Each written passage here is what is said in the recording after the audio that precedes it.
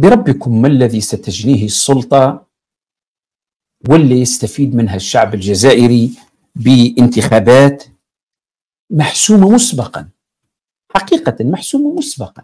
أعطوني مرة انتخابات لم تكن محسومة مسبقا. الرئاسية لم تحدث في تاريخ الجزائر.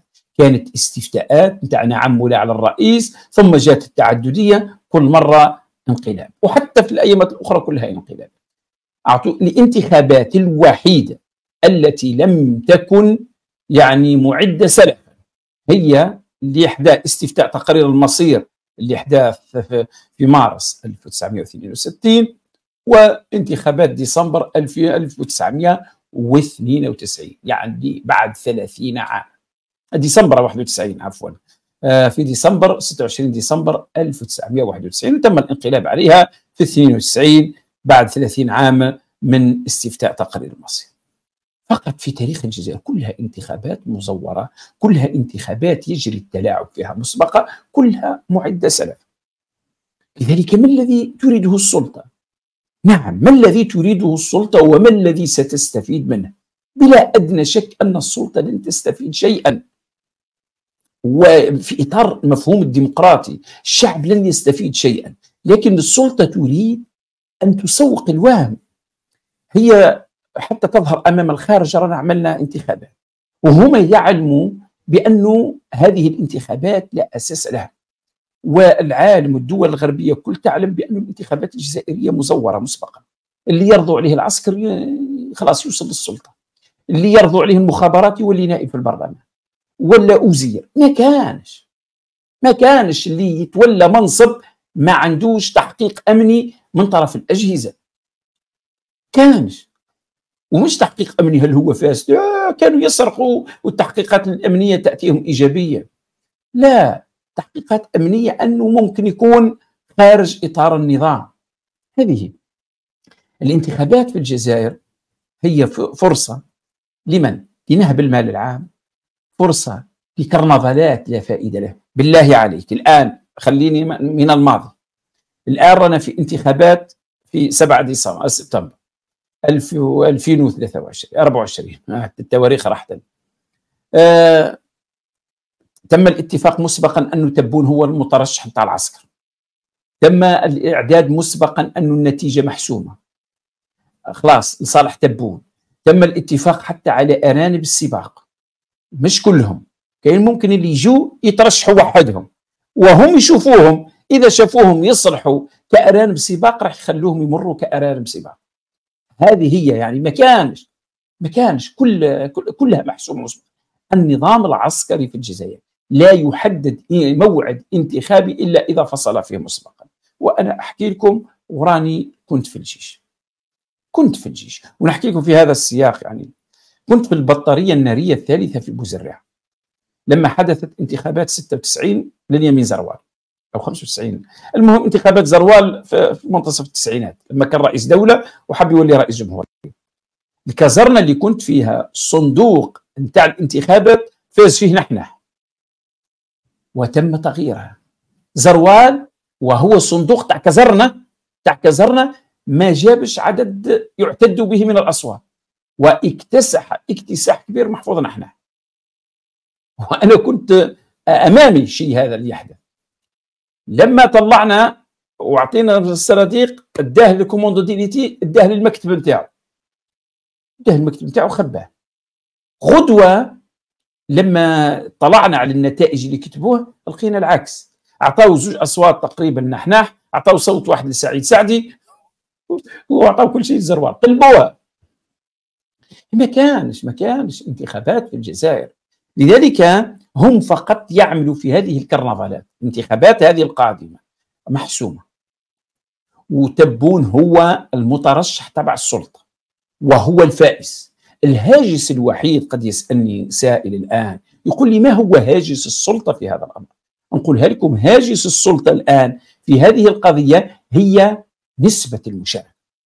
هاجس المقاطعة. هم خايفين الآن أنها تكون مقاطعة كبيرة أكثر من 2019 لأنه لاحظ مسلسل المقاطعة. قاطعوا في 2019 في ظل الحراك الشعبي. داروا استفتاء تقرير المصير زادت المقاطعة أكثر. ثم بعد ذلك داروا انتخابات برلمانية زادت المقاطعة أكثر. ثم بعد ذلك داروا مجالس محلية رغم أن المجالس المحلية غالبا تكون النسبة آه، مرتفعة. كانت المقاطعة كبيرة أيضا. فالآن مقبلين على رئاسيات ولا حد اهتم فيها.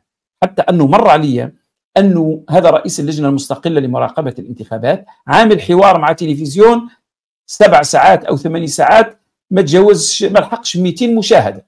يعني واضح الشعب ما لا يبالي بهم.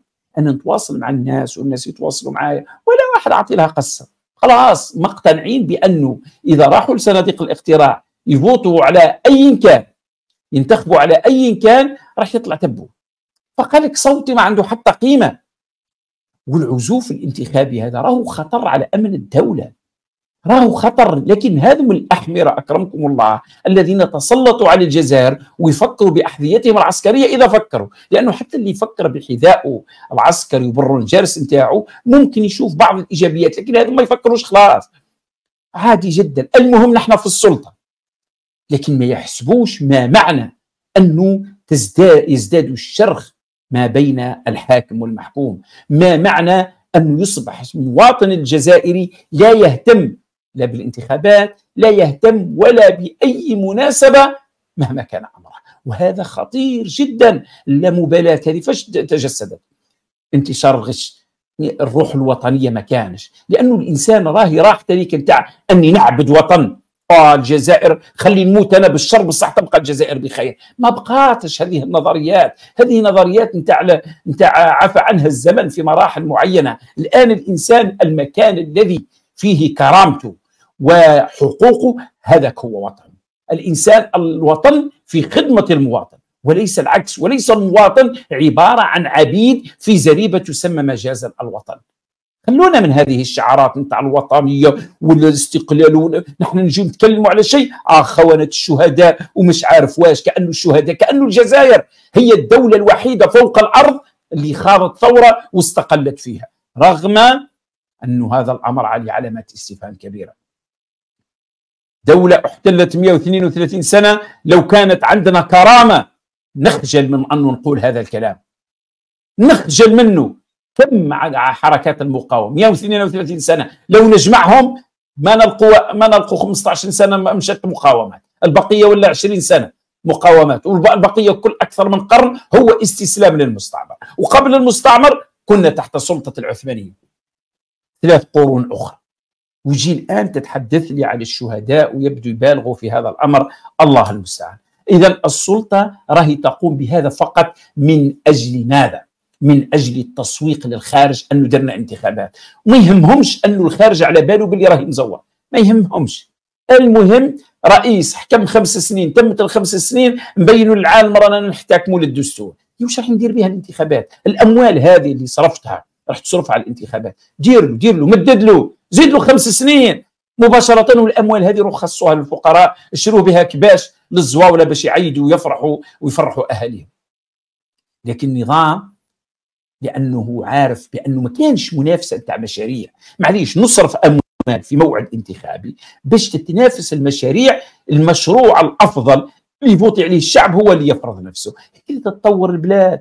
أما البلاد بهذه الطريقة العسكري اللي قرروا مصيرها العسكر الجزائري هو أصبح عبارة عن كولون جديد.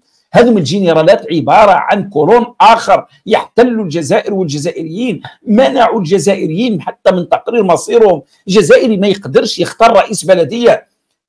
تراه شعب أهانوه.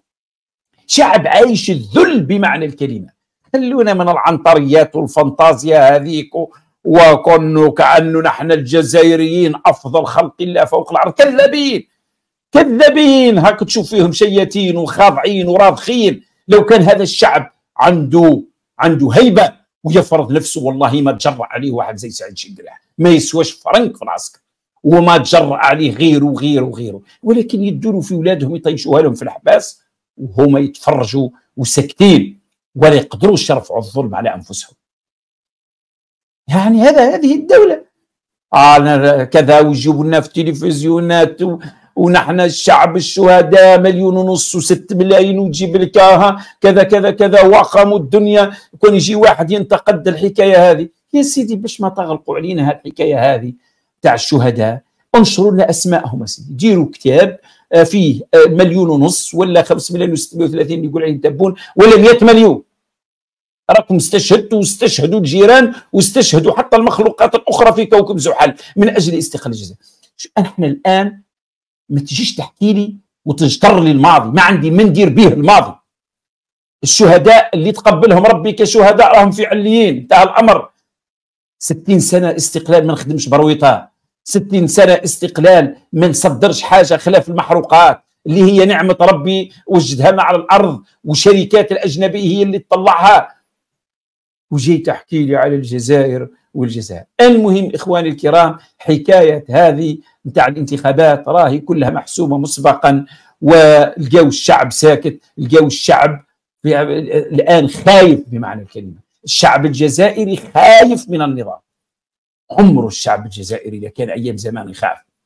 لكن للأسف استطحنوه بمعنى الكلمة وطحنوه وحولوه إلى مطحنة تحت أرجل عسكر ما يسواوش فرنك. خلفوا الكولون ومارسوا أسوأ مما مارسه الاستعمار بالأمس والقادم صدقوني ستكون ممارسات يندله الجبين تمس العرض وتبيع في أسواق النخاسة الأرض والأيام سجال بيننا. واذكروا كلاما جيدا.